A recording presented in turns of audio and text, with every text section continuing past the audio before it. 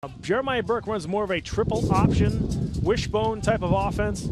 So not a lot of throwing the football. It's going to be a lot of running here this evening. That's Culbreath, the quarterback, trying to bounce to the outside.